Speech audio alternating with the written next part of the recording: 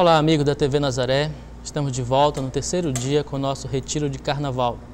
Eu sou Padre Damor, sacerdote da Diocese de Belém e diretor do Centro de Cultura e Formação Cristã.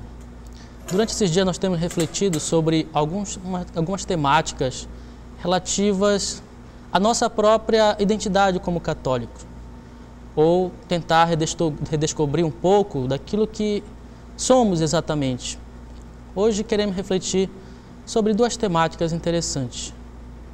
A primeira delas é realmente tentar mostrar ou identificar a nossa identidade. Sabemos que as diferenças culturais das diferentes épocas, elas têm mudado bastante ao longo da história. Mas uma coisa permanece a mesma em todo lugar, em todo tempo: o desejo do coração humano e a missão da igreja. É importante lembrarmos que Cristo não confiou à sua igreja uma missão social, política ou econômica, mas primariamente a missão da igreja é espiritual. A missão da igreja é proclamar o evangelho às pessoas de todas as nações e em todas as épocas. O evangelho então é o centro da missão da igreja e quando deixamos o Evangelho transformar a maneira em que vivemos, ele muda até mesmo os aspectos da sociedade. O Evangelho é vivo e ativo. Ele tem o poder de transformar nossas vidas, nossas comunidades, nossas nações e até mesmo o mundo. Só de imaginarmos, por exemplo, como o cristianismo mudou o mundo a partir do testemunho de alguns homens que seguiram o ensinamento de Cristo, os apóstolos, percebemos como é grande o poder do Evangelho. Uma coisa temos que ter certeza: Deus tem um sonho para mim, para você, e também tem um plano para a sua e a minha vida. Ele quer te libertar de tudo aquilo que permanece no seu caminho e aquilo que impede que você se torne a melhor versão de você mesmo. Ou seja, Ele quer te libertar de tudo aquilo que impede de vo você se tornar o projeto que ele sonhou para você mesmo. Então, Deus tem um plano de salvação para cada um de nós. E a tua aventura de salvação é a única e diferente, é única e diferente da minha. Assim, por exemplo, São Francisco de Assis tinha um caminho diferente daquele que teve Santa Teresa d'Ávila. João Paulo II viveu uma vida diferente daquela que teve, por exemplo, São Maximiliano Kolbe. Seus caminhos eram diferentes, mas o resultado era o mesmo. Os doze apóstolos, por exemplo, cada um tinha um talento, uma personalidade diferente. Mas Jesus chamou a cada um deles por uma razão específica, para um papel específico. E ele chama a você e a mim para uma missão específica hoje. Deus nos criou com necessidades legítimas. Temos muitas necessidades, necessidades físicas, emocionais, intelectuais, espirituais, e todas elas são legítimas. A nossa necessidade por comida, por oxigênio, por exemplo, são parte dessas necessidades básicas. Mas também nosso coração está cheio de sonhos e desejos. Os bons sonhos e desejos que estão no mundo, no nosso coração, foram colocados aí por Deus e são sempre animados pelo Espírito Santo. E eles sempre estão nos conduzindo para o caminho da salvação. Finalmente, ao nos criar, Deus nos dotou com certos talentos, certas habilidades. E Ele nos concedeu esses dons como ferramentas para a nossa vida. Por isso, quando ouvimos nossos melhores e talentos e nossas melhores habilidades nos chamando, estamos ouvindo, na verdade, a voz de Deus, que nos chama a participar na aventura da salvação, através dessas características que temos dentro de nós.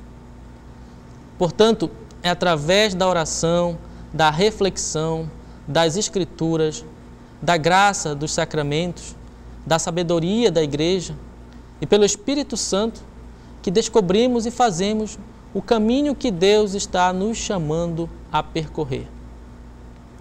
atraídos pelos nossos desejos, nossos anseios por felicidade, nós talvez experimentemos prazer, poder, outras coisas mais, mas o mundo e tudo o que ele tem a oferecer jamais poderão contentar o coração humano. Somente Deus pode satisfazer os mais profundos anseios de nossos corações. Portanto, é tarefa da igreja nos introduzir no nosso próprio destino através da, da revelação do mistério de Deus, que é, na verdade, nosso destino último. Quando falo que é tarefa da igreja, não quero dizer que é tarefa do padre, do bispo, dos que têm uma função na paróquia. Não. Você e eu temos um papel a desempenhar na igreja, assim como outro membro qualquer. É a sua, a minha tarefa também produzir ou introduzir outras pessoas ao seu destino através da revelação do mistério de Deus para eles. É sua e minha tarefa assistir todos aqueles que cruzam nossos caminhos para que possam cumprir também os seus destinos. Se servirmos aos outros dessa maneira, também estaremos cumprindo o nosso próprio destino. Assim, quando abraçamos a aventura da salvação, nos tornamos, através do nosso esforço, a pessoa que Deus criou e desejou que fôssemos. É bom sempre lembrar que as pessoas não existem para a igreja mas a igreja existe para as pessoas. É por essa razão que em todas as épocas a igreja proclama as verdades imutáveis da vida e os ensinamentos de Cristo, o Evangelho. Uma pergunta pertinente para nós cristãos seria pensar qual era a visão de Deus para a igreja no início e o que ela é hoje? É uma pergunta difícil de ser respondida. Para os primeiros cristãos, o cristianismo era um estilo de vida. Eles tinham uma vida em comum. Geralmente trabalhavam juntos, oravam juntos, estudavam as escrituras juntos. A fé era o centro de suas vidas. Tinham refeições em comum, cuidavam dos que estavam doentes, permitiam que os princípios do evangelho guiassem suas atividades do dia a dia. Eles confortavam as aflições de seus membros e desafiavam a cada um a viver o Evangelho mais profundamente. Em outras palavras, eles permitiam que o Espírito Santo os guiasse em tudo o que eles faziam. E no centro de tudo isso, eles celebravam a Eucaristia juntos.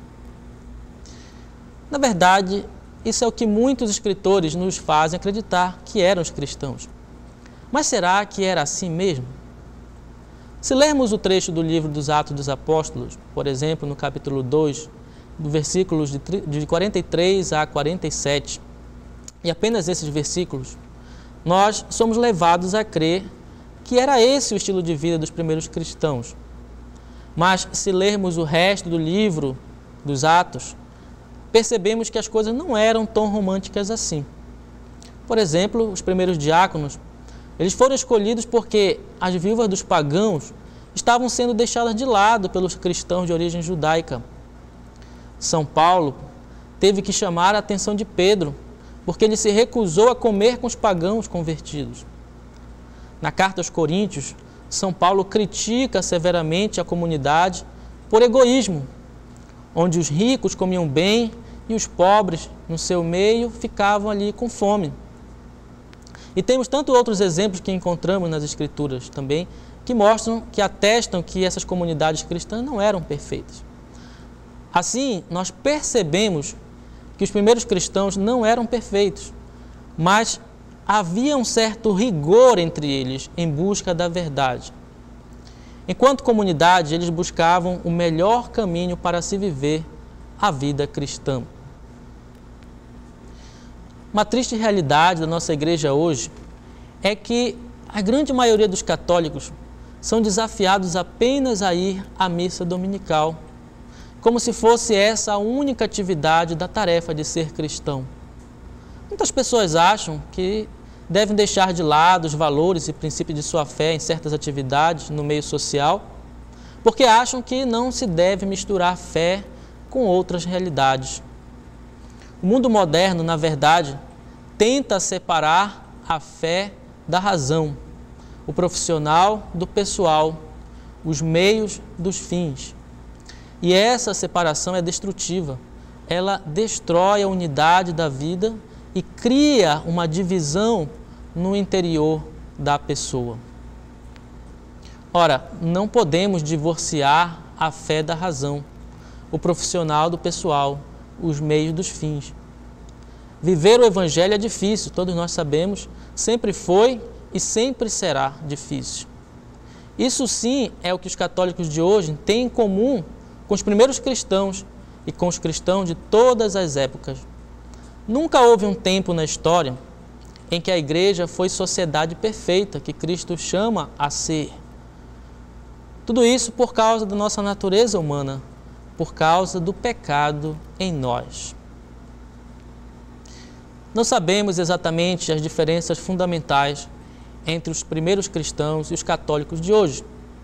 Mas uma coisa sabemos: que os caminhos do homem não nos levarão do lugar que estamos hoje para o lugar a que somos chamados a estar.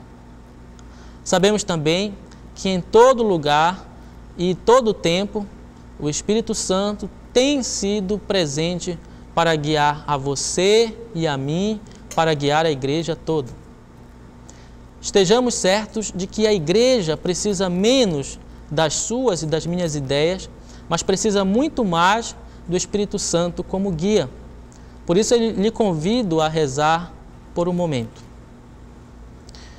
Vinde, Espírito Santo, enchei os corações dos nossos fiéis e acendei neles o fogo do vosso amor. Enviai o vosso Espírito e tudo será criado e renovareis a face da terra. É o Espírito Santo que renovará a face da terra. Não esqueçamos disso jamais. A renovação da igreja e do mundo se dará dessa maneira, quando eu e você abandonarmos a ilusão que estamos no controle das coisas e nos rendermos ao Espírito de Deus. Quando permitirmos o Espírito Santo guiar nossas palavras, pensamentos e ações a todo instante, é assim que nós renovaremos lentamente as coisas em nossas vidas, nos casamentos, na família, nos negócios, na escola, nas nossas paróquias, na nação, na nossa igreja e em toda a humanidade. O progresso dos primeiros cristãos na fé foi o fruto de sua fidelidade a Jesus Cristo, sob a inspiração do Espírito Santo. As falhas dos primeiros cristãos foram o resultado da rejeição do Espírito Santo como guia de suas vidas e ações. O mesmo acontece com a igreja hoje. Quando falamos em catolicismo, temos que lembrar que o catolicismo não é somente uma religião ou uma seita ou uma série de regras, como muitos pensam. Porém, o catolicismo é muito mais do que uma religião. A essência do catolicismo não é o pecado, a punição, a obrigação, as regras. O catolicismo é muito mais do que isso. É muito mais do que as pessoas pensam e mais do que os próprios católicos vivenciam. A essência do catolicismo é uma transformação dinâmica. Então, ser católico significa estar em constante luta para viver o Evangelho, estar em constante luta para ser mais próximo de Jesus. É esse dinamismo de transformação que anima a pessoa humana fisicamente, emocionalmente, intelectualmente e espiritualmente. Permite-nos experimentar a vida abundantemente. Então, o catolicismo é um estilo dinâmico de vida que encoraja e dá força para cada um de nós a nos tornarmos a melhor versão de nós mesmos. Poderíamos então finalizar esse momento pedindo que o Espírito Santo possa ainda conduzir nossas vidas, assim como ele tem conduzido a igreja também. Agora vamos para um breve intervalo, daqui a pouco nós voltamos com o nosso retiro de carnaval. Estamos de volta com o nosso retiro de carnaval. Uma pergunta para nós agora que é pertinente. O que, que nós celebramos na nossa vida? Nós já vimos, por exemplo, que toda a comunidade de fé tem problemas, Toda comunidade de fé tem conflitos. Todas as dioceses, paróquias têm seus próprios problemas. Esses problemas podem causar divisões, ressentimentos, mas ao mesmo tempo esses problemas podem ajudar a comunidade a renovar seu entusiasmo e até ser a fonte de unidade dentro da comunidade. O que causa esses resultados diferentes? Primeiramente, temos que ver no nível humano da coisa. Algumas pessoas estão dispostas a admitir seus erros e outras não. Em segundo lugar, temos que levar em conta um nível sobrenatural. E a pergunta que vem seria: será que todos os problemas que acontecem na igreja têm solução? Ou melhor, os problemas ocorrem para que estejamos lá prontos para resolvê-los? Penso que não estamos aqui para resolver todos os problemas. Os problemas estão aqui para nos resolver. Isso é, na verdade, um dos mistérios de nossa jornada terrestre. Vamos imaginar, se resolvêssemos todos os problemas da igreja hoje, ainda assim apareceria uma nova série de problemas amanhã. Isso significa que não deveríamos resolver todos os problemas? Lógico que não. Devemos sim resolvê-los, mas temos que lembrar de conectá-los com o propósito de nossa vida. Nós não resolvemos problemas só para se ver livres deles, mas temos que vê-los como uma oportunidade de mudarmos nossa vida, nosso comportamento. Temos que aprender algo com os problemas e eles nos ajudarão a nós mesmos e aos outros. Eles são uma oportunidade de nos tornarmos melhores, a melhor versão de nós mesmos. Por isso, como cristãos, devemos ver todas as circunstâncias como apropriadas para reajustar no compasso, nosso compasso que nos guia. E isso fazemos bem quando fazemos perguntas a nós mesmos. Uma dessas perguntas seria a seguinte: O que estamos celebrando? Essa pergunta tem sentido porque nós nos tornamos aquilo que celebramos. Se entrarmos, por exemplo, num quarto de um adolescente, geralmente veremos um monte de pôsteres de cantores, atores, estrelas de cinema, personalidades do mundo da fama e assim por diante. Esses são seus heróis, suas referências, seus valores. E se esse mesmo adolescente coleciona jogos de violência e guarda uma série de materiais pornográficos, por exemplo, esses se tornarão, de certa forma, seus ídolos e seu estilo de vida futura. Isso significa que nós nos tornamos aquilo que celebramos. Quando as nossas crianças, nascidas dentro de uma cultura dita cristã, sabem mais sobre a vida de seus ídolos popstar, por exemplo, do que sobre Jesus Cristo, não seria tempo de revermos que tipo de educação ele está recebendo? Não seria tempo de explorarmos novos meios de comunicar o Evangelho para essas novas gerações? Não é tempo de celebrar nossa fé, vivendo-a de maneira mais profunda, de maneira que chamemos a atenção de outras pessoas para o nosso estilo de vida? Nós nos tornamos o que celebramos. O que, que você está celebrando? Quando olhamos para o futuro, há muitos desafios para a nossa igreja em quase todos os lugares, mas especialmente em lugares como a Europa, as paróquias estão se esvaziando. Há pouquíssima presença da juventude, o divórcio está destruindo muitas famílias, dividindo comunidades, famílias inteiras estão se alienando do catolicismo, muitos estão migrando para outras religiões ou denominações cristãs. As vocações ao sacerdócio e à vida religiosa estão cada vez mais escassas. E a igreja enfrenta uma marginalização constante imposta pelo secularismo. Talvez muitos de nós não gostemos de pensar ou falar nos problemas da igreja, mas nós devemos fazê-lo, porque os problemas trazem consigo a esperança de soluções. Se continuarmos a virar as costas para os problemas concretos, eles continuarão a crescer e se espalhar como câncer no corpo. Há muitas pessoas que acham que o problema com o mundo de hoje é que as pessoas não vêm à igreja. Elas acham que o desafio é justamente trazer essas pessoas para a igreja. Isso é verdade, de certa forma, temos que trazer as pessoas para a igreja. Mas o principal desafio é trazer a igreja às pessoas. na verdade estamos falhando naquilo que Jesus fez, basicamente. Ou seja, alcançar e encontrar as pessoas lá onde elas estão, em suas necessidades, em seus problemas. Estamos falhando em realizar a missão da igreja, que é proclamar a boa nova do Evangelho para as pessoas de todas as épocas e lugares. Juntos, então, temos uma responsabilidade de demonstrar que, a, que caminhamos com Deus e que seguir, e seguir a vida e os ensinamentos de Jesus Cristo é o melhor caminho para se viver. Se as pessoas não vêm para a igreja, não é só falha delas, é nossa também. Deveríamos perguntar a nós mesmos por que elas não vêm para a igreja. A resposta talvez seria a seguinte: as pessoas não vêm à igreja porque elas não veem um valor nela. Se convencermos as pessoas que há um valor na igreja, se mostrarmos a riqueza e a beleza do catolicismo através de nossas vidas, as pessoas perceberiam que a igreja é uma parte indispensável de suas vidas. Estamos falhando no engajamento das pessoas. Quando eu falo em engajamento, não falo em entretenimento, mas sim um engajamento concreto. Engajar as pessoas significa mostrar a elas como o Evangelho pode transformar suas vidas. Engajar as pessoas é mostrar a elas como Deus quer fazer suas vidas melhores. As pessoas sabem que elas estão sofrendo, sabem que estão vazias, que têm uma fome espiritual dentro de si, mas elas não acham, elas acham, melhor dizendo, que ir à igreja não lhes acrescenta nada.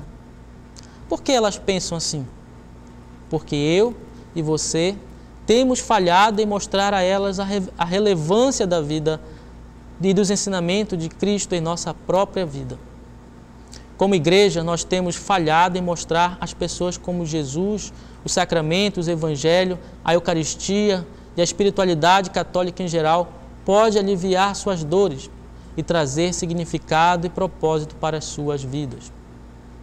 Isso significa que seu futuro, o meu futuro e o futuro da igreja estão todos intimamente relacionados entre si. São pessoas como você e eu que fazemos a igreja e se a igreja não está progredindo, é porque eu e você não estamos progredindo. A missão da igreja hoje é levar o evangelho para as pessoas de nosso tempo. Essa é a sua missão, essa é a minha missão. Nós somos a igreja. E a melhor maneira para realizar essa missão é deixar os valores, princípios, o espírito do evangelho transformar nossas próprias vidas. São Francisco de Assis uma vez disse: Pregue o Evangelho a todo tempo e somente quando necessário use palavras. Então nossa cultura ela está faminta por vidas autênticas, por testemunhos verdadeiros. Deixemos nossa vida falar então. Em todas as épocas a igreja enfrentou problemas e dificuldades. Nosso tempo não é diferente. Os problemas são muitos, a solução é uma só: santidade da pessoa é a resposta para todos os problemas. Em todas as dificuldades e problemas da minha vida, se eu deixar os valores e princípios do Evangelho me guiarem, sei que resultará em algo melhor para mim. Eu sei que o resultado não será algo como eu quero, mas me tornarei uma pessoa melhor por ter vivido o Evangelho naquela particular situação. E por causa disso, meu futuro também será melhor. Santidade, então, é simplesmente a aplicação de valores, princípios e o espírito do Evangelho em todas as circunstâncias de nosso cotidiano, a cada momento. Isso não é complicado, é muito simples. Mas dizer que é simples não significa que é fácil. Pelo contrário, isso é muito desafiador. Em todas as épocas sempre houve um número pequeno de homens e mulheres dispostos a virar suas costas para a cultura de sua época e abraçar a vida que Jesus ensina no Evangelho. Essas pessoas transformaram o catolicismo em um estilo de vida. Eles escutaram atentamente a voz de Deus e apaixonadamente viveram sua pessoa, em sua pessoa a aventura da salvação. O mundo moderno tende a viver essas, a ver essas pessoas como coitadinhos, talvez, porque acreditam que, ele, que lhes faltou alguma coisa. Não, nunca sintamos pena deles, porque esses homens e mulheres foram e são as pessoas mais felizes que já viveram. Eles são nossos verdadeiros heróis, os heróis do cristianismo. Eles são os santos. Portanto, o futuro da igreja está em nossas mãos e podemos ficar certos que esse futuro será aquilo que fazemos no nosso presente. Como católicos, fazemos uma coisa que ninguém faz melhor: é celebrar. Tudo que a igreja faz gira em torno de celebrações. Nós celebramos a vida, celebramos os tempos litúrgicos, celebramos os santos como heróis de nossa fé, celebramos o nascimento com o batismo e a vida eterna com as Ezequias, celebramos a verdade, a beleza, a bondade, celebramos o Natal, a Páscoa, celebramos a salvação, celebramos o perdão e a reconciliação, celebramos a dedicação total das pessoas que servem a Deus através das santas ordens, celebramos a educação, Celebramos a comunhão com Deus e com a comunidade através da missa. Celebramos a unidade. Celebramos o amor no matrimônio. Celebramos. O espírito do catolicismo é predominantemente celebração, que é a orientação fundamental da nossa vida. Quando vemos nossa vida e fé sendo atacadas pelas forças sociais e culturais de nossa época, o melhor caminho para responder a esses ataques é celebrar a vida. E a melhor maneira de celebrar a vida é viver nossas próprias vidas de maneira total, de maneira profunda. É abraçar a vida com braços abertos. É colocar nossas vidas a serviço da humanidade. É amar profundamente as pessoas que cruzam nossos caminhos. E, acima de tudo, abraçar o nosso próprio Deus. A vida não deve ser desperdiçada em nenhum momento porque ela é muito preciosa. A melhor maneira de defender a nossa fé é celebrar a nossa fé. A melhor maneira de celebrar o catolicismo é viver a fé de maneira total, a cada dia, deixando que ela preencha cada espaço em nossa vida. O que estamos celebrando com a cultura? O que você está celebrando? Você pode celebrar o que você quiser. Você pode celebrar a vida e a fé. Você pode celebrar o amor, a honestidade, perdão, gentileza e generosidade. Você pode celebrar a verdade, a beleza, a bondade, a redenção. Por outro lado, você pode celebrar o ódio, a violência, o egoísmo, a cobiça, o engano, a mentira, a destruição, o paganismo. Você pode celebrar a perversão, a luxúria, a corrupção. Mas uma coisa é certa: nós nos tornamos aquilo que celebramos. E isso vale não só para a vida de uma pessoa, mas também para a vida de uma família. É verdade para a vida de uma nação e é verdade também para a vida da igreja. Portanto, meu irmão, minha irmã, vamos começar a nossa celebração, a celebração da nossa fé. Aqui no, me despeço de todos vocês, meus irmãos, lembrando que esses dias em que celebramos tantas coisas, não esqueçamos de celebrar principalmente aquilo que é a essência da nossa fé. Celebrar ser cristão, celebrar ser católico, celebrar que pertencemos a Jesus Cristo. E eu me despeço então desse retiro de carnaval, desejando a todos vocês, telespectadores, uma bênção especial, que possamos celebrar verdadeiramente aquilo que Deus quer fazer em nossa vida. Portanto, invoco as bênçãos de Deus Todo-Poderoso, que é Pai e Filho e Espírito Santo. Amém.